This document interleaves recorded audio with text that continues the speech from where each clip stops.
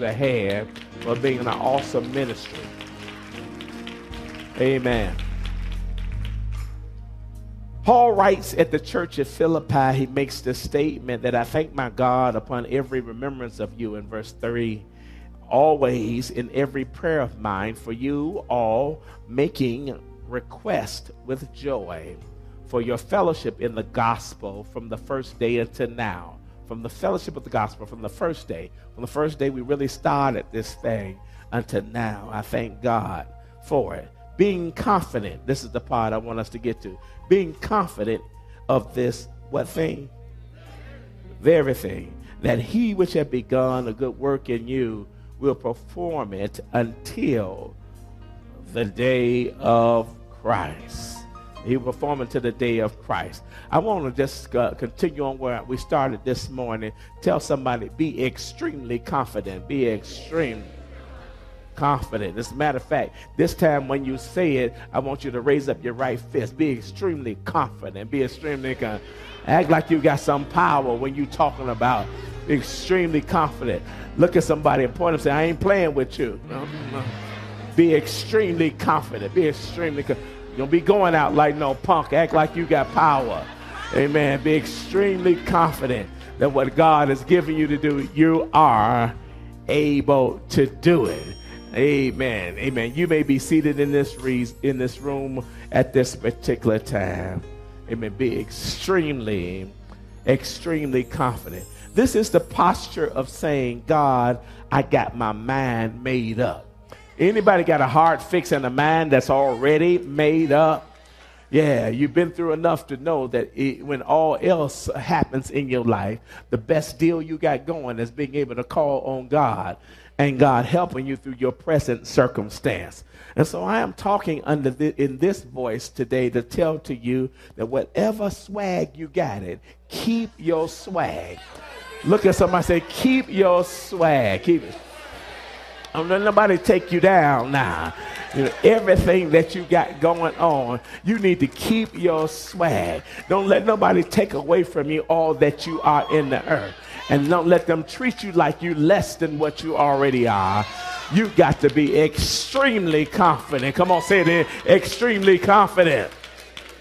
Uh, and then there's a way to do this. There's a way to do this. Uh, it is labeled in three different areas. The first way is, is that we have to always allow hope to rest in God. That's the first thing we do. Allow your hope to rest in God. But after doing that, the second thing is, is be bold enough to act on what you say you believe. That's the second thing that's tied to that. The third thing is, is that once you let your hope rest in God, be bold enough to act on what you say you believe, then dare to walk by faith and not by sight. Trust God with what He says He will do on your behalf. But when we talk about being confident, confident in the Greek is the word parrhesia, which actually means to uh, be bold, to have a frankness, to have an assurance, to have a cheerful courage, to be in a place where you're courageous based upon not any attitude or disposition of self aggrandizement or personal achievement or authority, but based upon the essence of who you have on your side, being in a place where you know that you can be resilient, you can be optimistic and enthusiastic because you know you have more that be with you than more that be with the enemies that come against you. And so when you talk about being confident in this context, we're talking about being in a place where we put energy behind our very purpose. That whatever we do and we see this purpose, we press our way to it because we understand that God is going to deliver us and bring to pass exactly what he said he will do on our behalf. Now, I need to make this statement to you that the test of confidence is that after you have done righteously, can you stand in it until God releases his promise for you?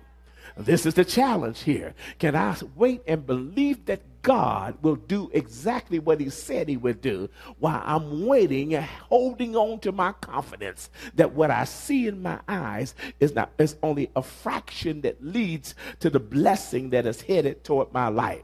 And so uh, my encouragement to you is to keep living and to press yourself to understand that part of the joy of the Lord that you have on the inside is rekindling and recalling your joy to make sure that God has the prominent place in your life and you allow nothing to take away from you that which God has ordered for your very future. So confidence then for us must be maintained. Say that with me. Confidence must be maintained. Yeah, you got to work with your confidence. You have to maintain confidence. It is not something uh, that you know that you just have without having some challenge to it. Even as much as you already know, suggestion can make you doubt for a moment and recheck something you already know.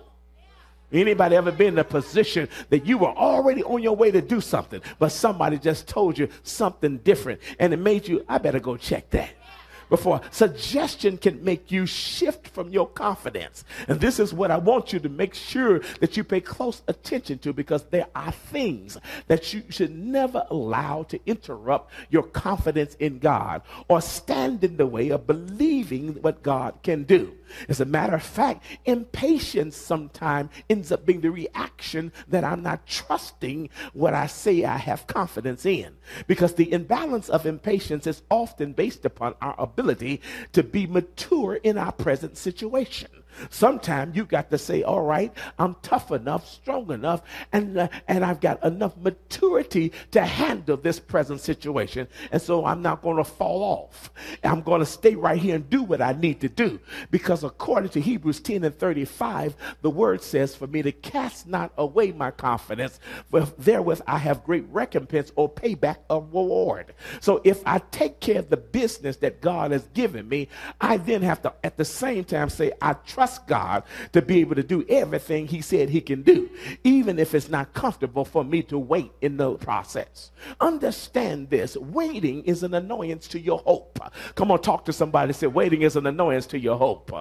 Anybody in here ever had to, to wait on something and your hope was for it, but you kept having to wait?